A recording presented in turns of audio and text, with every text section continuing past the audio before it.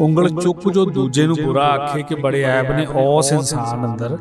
ਤਿੰਨ ਉਂਗਲਾਂ ਤੇਰੇ ਵੱਲ ਰਹਿਣ ਮੁੜੀਆਂ ਤੈਨੂੰ ਕਹਿੰਦੀਆਂ ਮਾਰ ਧਿਆਨ।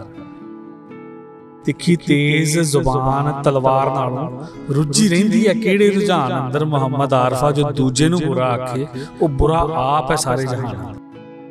ਇਹੋ ਜਿਹੇ ਇਵੈਂਟਸ ਬਹੁਤ ਜ਼ਰੂਰੀ ਨੇ ਮੈਨੂੰ ਲੱਗਦਾ ਬਾਕੀ ਪ੍ਰੋਗਰਾਮਾਂ ਨੂੰ ਛੱਡ ਕੇ ਇਹੋ ਜਿਹੇ ਪ੍ਰੋਗਰਾਮਾਂ ਵੱਲ ਫੋਕਸ ਕਰਨਾ ਚਾਹੀਦਾ ਆਪਾਂ ਨੂੰ। ਜੇ ਪੰਜਾਬ ਦੇ ਵਿੱਚ 3 ਕਰੋੜ ਬੰਦਾ ਰਹਿੰਦਾ ਨਾ ਉਹ ਚ 300 ਬੰਦਾ ਹੀ ਆ। ਜਿਹੜਾ ਹਮੇਸ਼ਾ ਇਹ ਚਾਹੁੰਦਾ ਰਹਿੰਦਾ ਵਾ ਕਿ ਕੋਈ ਮੁੱਦਾ ਭਟਕੇ। ਬਸ। ਬਿਲਕੁਲ। ਗੱਲ ਸਿਰਫ ਇੰਨੀ ਕਾ ਸਾਰਾ ਪੰਜਾਬ ਨਹੀਂ ਤੁਸੀਂ ਪੰਜਾਬ ਨੂੰ ਛੱਡ ਕੇ ਜਾਣਾ ਚਾਹੁੰਦੇ ਹੋ? ਮੈਂ ਵੀ ਨਹੀਂ ਜਾਣਾ ਚਾਹੁੰਦਾ। ਸਤਿ ਸ਼੍ਰੀ ਅਕਾਲ, ਤੁਸੀਂ ਦੇਖ ਰਹੇ ਹੋ ਲੁਧਿਆਣਾ ਟਾਈਮ ਤੇ ਮੈਂ ਹਾਂ ਸੁਜਲ ਤਮਨ ਟੀਮ 1699 ਅਤੇ ਸਿਟੀ ਨੀਡਸ ਵੱਲੋਂ ਜਿਹੜਾ ਇਵੈਂਟ ਕਰਵਾਇਆ ਜਾ ਰਿਹਾ ਹੈ, ਇੱਕ ਹਫ਼ਤੇ ਤੋਂ ਜਿਹੜਾ ਇਵੈਂਟ ਚੱਲ ਰਿਹਾ ਹੈ ਤੇ ਜਿਹੜੇ ਸਾਰੇ ਧਰਮਾਂ ਨੂੰ ਇਕਜੁੱਟ ਕਰਨ ਦਾ ਇਵੈਂਟ ਚੱਲ ਰਿਹਾ ਉਹਦੇ ਵਿੱਚ ਸਮਾਜ ਦੇ ਵਿੱਚ ਕੀ ਇੰਪੈਕਟ ਪੈਂਦਾ ਹੈ? ਸਾਡੇ ਨਾਲ ਮੌਜੂਦ ਨੇ ਜਰਨੈਲ ਸਿੰਘ ਜੀ ਤੇ ਉਹਨਾਂ ਨਾਲ ਗੱਲਬਾਤ ਕਰਾਂਗੇ ਕਿ ਸਮਾਜ ਦੇ ਵਿੱਚ ਤੁਸੀਂ ਜੋ ਸੋਸ਼ਲ ਮੀਡੀਆ ਦੇ ਉੱਤੇ ਇਨਫਲੂਐਂਸ ਕਰਦੇ ਹੋ ਤੇ ਉਹਦੇ ਵਿੱਚ ਸਮਾਜ 'ਚ ਕੀ ਇੰਪੈਕਟ ਪੈਂਦਾ ਕੀ ਕਹਿਣਾ ਚਾਹੁੰਦੇ ਹੋ? ਜੀ ਇੱਥੇ ਆਏ ਹੋ ਤੇ ਸਾਰੇ ਧਰਮਾਂ ਨੂੰ ਇਕਜੁੱਟ ਕੀਤਾ ਜਾ ਰਿਹਾ ਹੈ ਦੇ ਵਿੱਚ ਕੀ ਕਹਿਣਾ ਚਾਹੁੰਦੇ ਹੋ?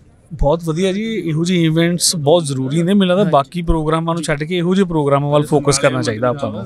ਨਹੀਂ ਆ ਗਏ ਤੇ ਇੱਕ ਸਲੋਗਨ ਮਿਲਿਆ ਸੀ ਆਪਾਂ ਨੂੰ ਹਿੰਦੂ ਮੁਸਲਿਮ ਸਿੱਖ ਈਸਾਈ ਹਮ ਸਾਰੇ ਭਾਈ ਭਾਈ। ਆਉਣ ਵਾਲਾ ਜਿਹੜਾ ਯੂਥ ਹੈ ਸੋਸ਼ਲ ਮੀਡੀਆ ਨੂੰ ਲੈ ਕੇ ਇੰਪੈਕਟ ਦੇ ਵਿੱਚ ਇਨਫਲੂਐਂਸ ਚੱਲ ਪੈਂਦਾ। ਆਪਣਾ ਆਪਣਾ ਪਰਸਪੈਕਟਿਵ ਵੀ ਹੈ ਅੱਗੋਂ ਦੇਖੋ 6 ਹੈ ਪਿੱਛੋਂ ਦੇਖੋ 9 ਹੈ।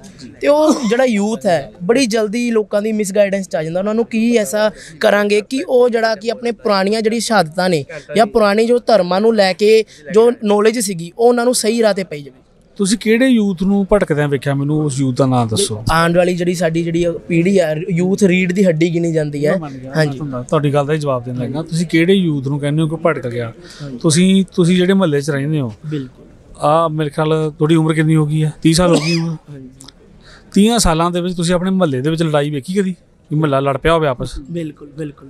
ਧਰਮ ਨੂੰ ਲੈ ਕੇ ਨਹੀਂ ਲੜਿਆ ਨਾ? ਜੀ ਜੀ ਪਰਸਨਲ ਮੁੱਦੇ ਦੀ ਗੱਲ ਛੱਡ ਦਿਓ। ਬਿਲਕੁਲ। ਮੁੱਦਾ ਹੋਈ ਹੈ ਕਿ ਜੇ ਪੰਜਾਬ ਦੇ ਵਿੱਚ 3 ਕਰੋੜ ਬੰਦਾ ਰਹਿੰਦਾ ਨਾ ਉਹ ਚ 300 ਬੰਦਾ ਹੀ ਆ। ਜਿਹੜਾ ਹਮੇਸ਼ਾ ਇਹ ਚਾਹੁੰਦਾ ਰਹਿੰਦਾ ਵਾ ਕਿ ਕੋਈ ਮੁੱਦਾ ਭਟਕੇ। ਬਸ। ਬਿਲਕੁਲ। ਗੱਲ ਸਿਰਫ ਇੰਨੀ ਕਾ ਸਾਰਾ ਪੰਜਾਬ ਨਹੀਂ ਤੁਸੀਂ ਪੰਜਾਬ ਨੂੰ ਛੱਡ ਕੇ ਜਾਣਾ ਚਾਹੁੰਦੇ ਹੋ? ਮੈਂ ਵੀ ਨਹੀਂ ਜਾਣਾ ਚਾਹੁੰਦਾ। ਤੇ ਇੱਕ ਜਿਹੜਾ ਤੁਸੀਂ ਸੋਸ਼ਲ ਮੀਡੀਆ ਦੇ ਉੱਤੇ ਬਹੁਤ ਇਨਫਲੂਐਂਸ ਕਰਦੇ ਹੋ ਤੇ ਇੱਕ ਐਸਾ ਕੀ ਤੁਸੀਂ ਇੱਕ ਮੈਸੇਜ ਦੇਣਾ ਚਾਹੁੰਦੇ ਹੋ ਕਿ ਜਿਹੜੇ ਨੇ ਆਪਾਂ ਸਾਰੇ ਧਰਮ ਇਕਜੁੱਟ ਹੋ ਕੇ ਤੇ ਉਸ ਤਰੀਕੇ ਆਪਾਂ ਅੱਗੇ ਵਧੀਏ ਕਿ ਜਿਹੜਾ ਆਉਣ ਵਾਲਾ ਸਾਡਾ ਜਿਹੜਾ ਪੰਜਾਬ ਹੈ ਉਹ ਰੰਗਲਾ ਪੰਜਾਬੀ ਬਣਿਆ ਰਹੇ। ਦੇਖੋ ਕਿਸੇ ਤੇ ਉਂਗਲ ਨਹੀਂ ਚੁੱਕਣੀ ਚਾਹੀਦੀ। ਉਹ ਕਹਾਵਤ ਹੈ ਮੁਹੰਮਦ ਆਰਫ ਦੀ। ਉਹ ਕਹਿੰਦਾ ਕਿ ਉਂਗਲ ਚੁੱਕ ਜੋ ਦੂਜੇ ਨੂੰ ਬੁਰਾ ਆਖੇ ਕਿ ਬੜੇ ਐਬ ਨੇ ਉਸ ਇਨਸਾਨ ਅੰਦਰ ਤਿੰਨ ਉਂਗਲਾਂ ਤੇਰੇ ਵੱਲ ਰਹਿਣ ਮੁੜੀਆਂ ਤੈਨੂੰ ਕਹਿੰਦੀਆਂ ਮਾਰ ਧਿਆਨ ਅੰਦਰ। ਠੀਕ ਹੈ? ਤਿੱਖੀ ਤੇਜ਼ ਜ਼ੁਬਾਨ ਤਲਵਾਰ ਨਾਲੋਂ ਰੁੱਝੀ ਰਹਿੰਦੀ ਹੈ। ਕਿਹੜੇ ਰੁਝਾਨ ਅੰਦਰ ਮੁਹੰਮਦ ਆਰਫਾ ਜੋ ਦੂਜੇ ਨੂੰ ਬੁਰਾ ਆਖੇ ਉਹ ਬੁਰਾ ਆਪ ਹੈ ਸਾਰੇ ਜਹਾਨ ਅੰਦਰ। ਬਸ ਸਾਰੇ ਕੀ ਬਾਤ ਹੈ। ਬਹੁਤ ਸੋਹਣੀ ਗੱਲ ਕਹੀ ਹੈ ਕਿ ਸਾਰੇ ਧਰਮਾਂ ਨੂੰ ਇਕਜੁੱਟ ਕਰਕੇ ਚੱਲੋ ਕਿ ਜੇਕਰ ਤੁਸੀਂ ਉਂਗਲ ਚੱਕਦੇ ਹੋ ਤੇ ਤਿੰਨ ਉਂਗਲਾਂ ਤੁਹਾਡੇ ਵੱਲ ਵੀ ਮੁੜੀਆਂ ਨੇ ਕਿਉਂਕਿ ਕਿਸੇ ਦੀ ਅੱਗੇ ਉਂਗਲ ਚੱਕਣ ਨਾਲੋਂ ਪਹਿਲਾਂ ਆਪਣਾ ਦਰਬਾਨ ਦੇ ਅੰਦਰ ਝਾਕਣਾ ਬਹੁਤ ਜ਼ਰੂਰੀ ਹੈ। ਇਦਾਂ ਦੇ ਹੀ ਅੱਛੇ ਅਪਡੇਟਸ ਤੁਸੀਂ ਸਾਡੇ ਨਾਲ ਜੁੜੇ ਰਹੋ। ਕੈਮਰਾਮੈਨ ਸਤਵੰਤ ਮਥਾੜੂ ਦੇ ਨਾਲ ਮੈਂ ਸੁਜਲ ਤਮਨ ਲੁਧਿਆਣਾ ਟਾਈਮ।